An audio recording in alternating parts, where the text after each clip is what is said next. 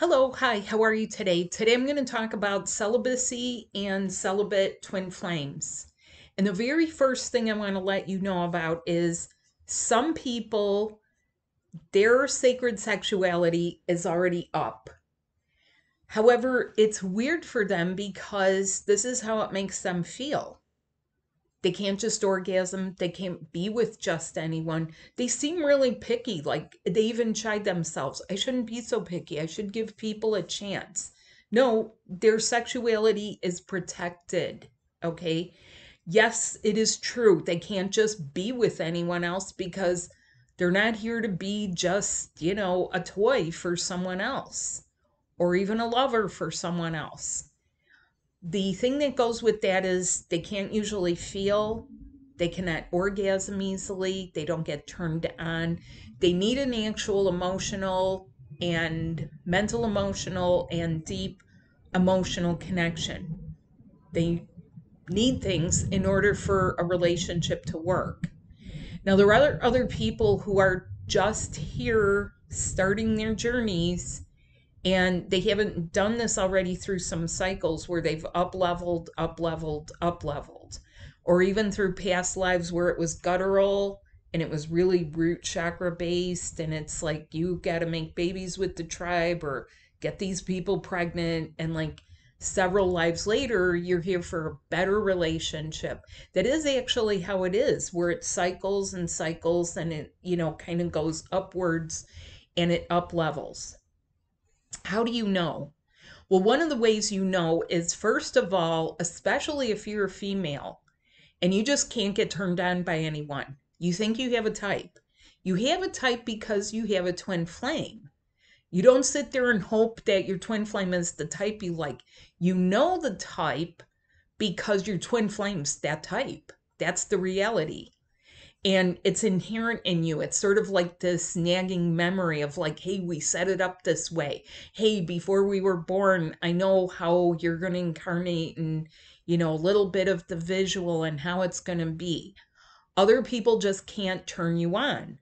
They can't do it with, you know, simple little things or flirtation. It takes an emotional connection or none at all. There are some people who involuntarily, despite what their mind is telling them. Their ego minds are telling them, hey, you have to be here with someone. Hey, you have to make babies.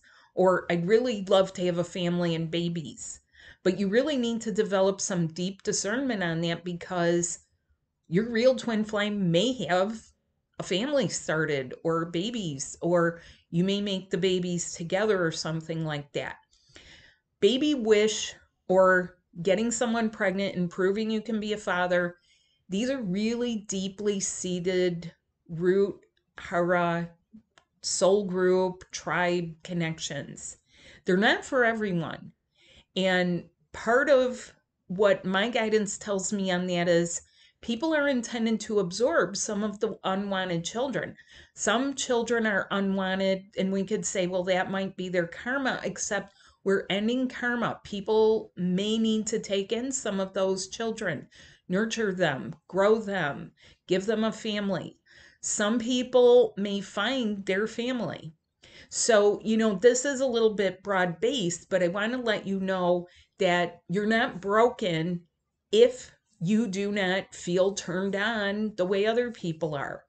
Okay. And I get it because I had friends growing up where they'd be like, oh my god he's so cute. Oh my god he's so cute. Or oh my god she's so cute. Or oh my god she's so sexy. Or she's so hot. And it's like you feel like you're lost in it. You're like i'm looking at these people like yeah they're a nice museum piece or a nice specimen of manliness or a nice specimen of femaleness and and or a nice specimen of lgbt transness or whatever blend it is that appeals to you. However there's something in you that knows, there's something in you that remembers what your plan was, and there's something in you that's somehow saying, hold your horses. We're here for the real thing, which bring brings me to being celibate. Okay. You should actively be celibate to honor your twin flame union and to conserve your love energies. You should not be squandering them by giving them to everyone else, nor should you let people be taking them, nor should you be indulging them. And a lot of people rationalize that. Well, it was oral, we didn't really have sex, meaning intercourse. And this is the reality. Any sexual interactions can drain your energy. It keeps you latched onto the collective. It drains it out. It is not enabling you to receive your full kundalini back. And that's that's the thing that is necessary on this journey. That is a proactive thing. So that is working the process. That's not trusting the process. Also, do not go through every soulmate you encounter. Develop your discernment. So, this is a tip that I learned. Learn discernment. Learn to really, you know, feel. Do you even need this? Are they blocking your path? Are they blocking you from your true twin flame? Are they like, you know, a masculine energy? Okay, like let's say if your twin is a masculine, are they clouding it up so that your twin can't even sense you? What if your twin is a feminine? Are is that person or soulmates clouding it up so you you two can't even sense each other, feel each other, help each other, love each other, okay? And this this can block a lot of people and it can delay your union. It can delay your union. So there's some ways that you can know. If you're having sex or you're sexual with a karmic or a false twin, there are things that happen pains, headaches, especially migraine headaches, because the lower parts of the body correspond to the areas up here. There are more reproductive and sexual connections up here. Headaches, yeast infections. Even, we think of females as getting yeast infection. You can have it in your back door. You could have it on your private part if you're a male. And it happened to my ex husband, and I used to wonder. In fact, his doctor wanted to circumcise him. And I was like, why? You know, this is truly just an infection. What I didn't understand is we were already separating at that. Even if I thought he was the one, he was more like a karmic. He was a karmic soulmate. Pelvis and hip pain, and for a lot of males, knee pain, ankle pain, you're not moving forward. If you're not moving forward, you're going to feel the pain.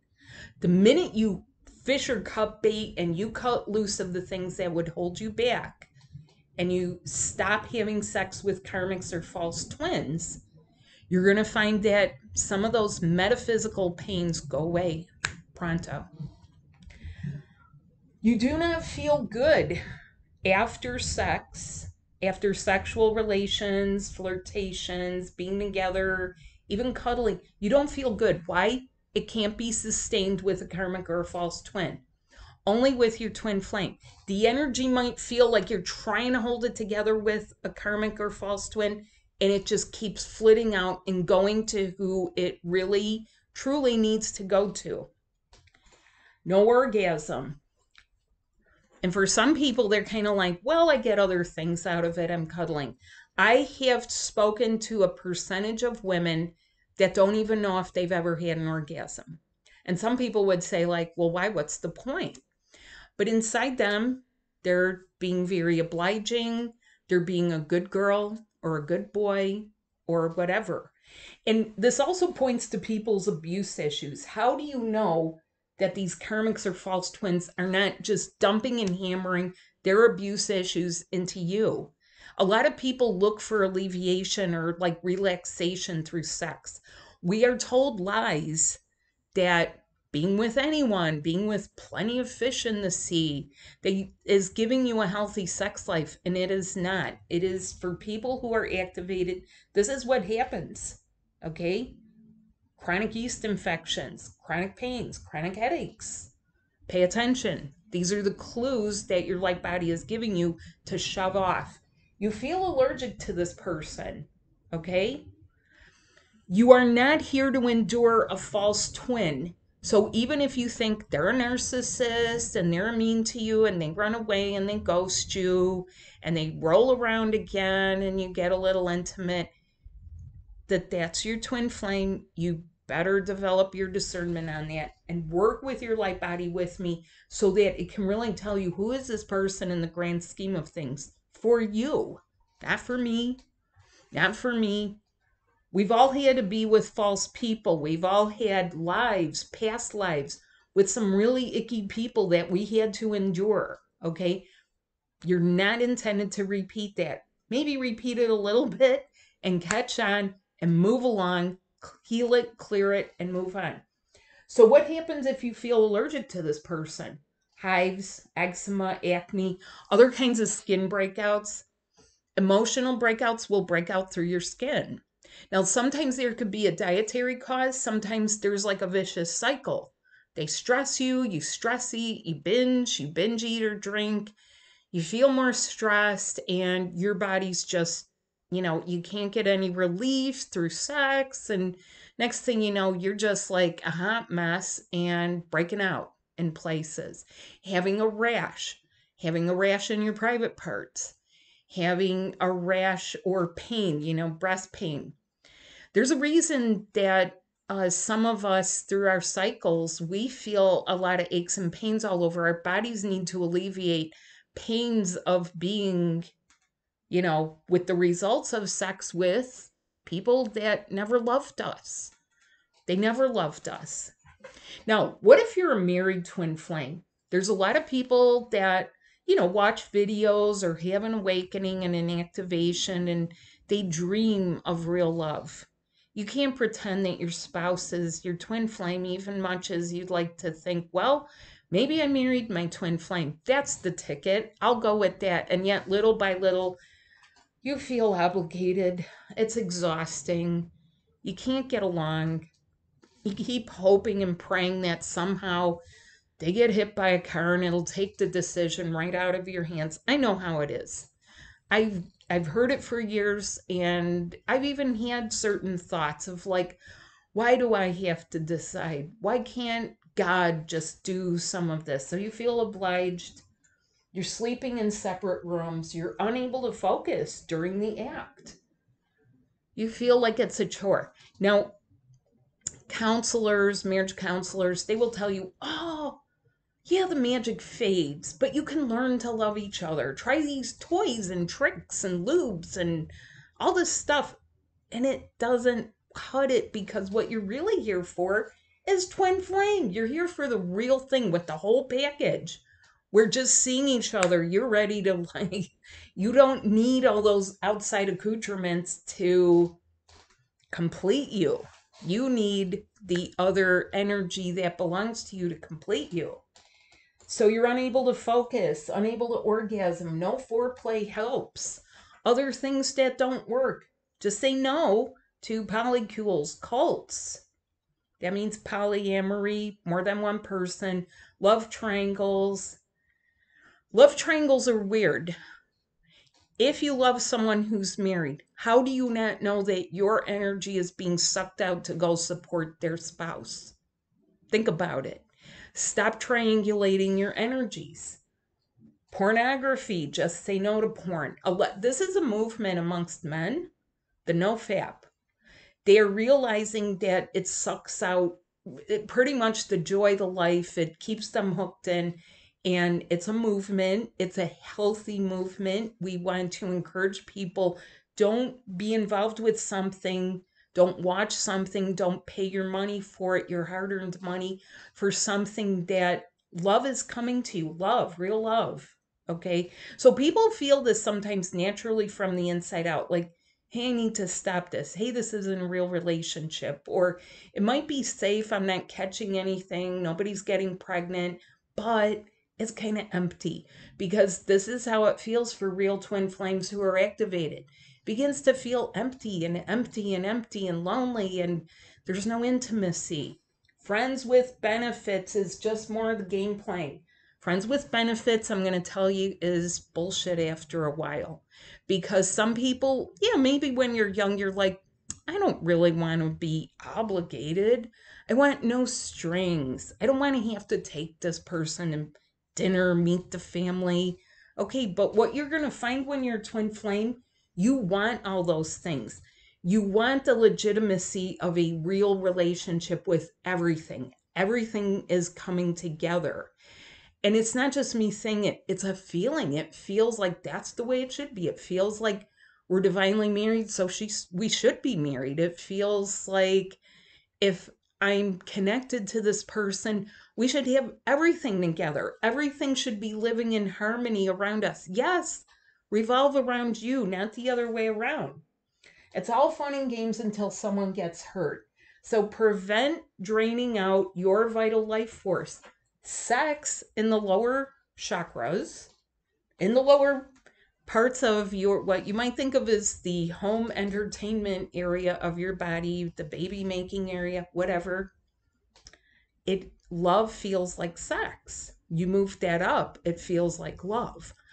I'm an expert in helping you to clear your sexual energy and help you feel love and it is most important from now going forward. We're in sort of the 2 years where there is a huge push 2024 to 2026 to uh, shove people together who are supposed, you know, little by little, get them situated, stop the ends of the extremes. I'm in pain and you're feeling, no, begin to come together. Okay. Now, this is for anyone who, wherever you identify on the sacred spectrum of sexuality, which isn't sex, it's how do you identify? What is the blend of your masculine and feminine? Two energetics in duality. You have two gender bodies, but within you, you have the blend that fits together, which is why some women will say, I feel like I'm the more masculine, or some men will say, I feel like I'm carrying the feminine, or whatever.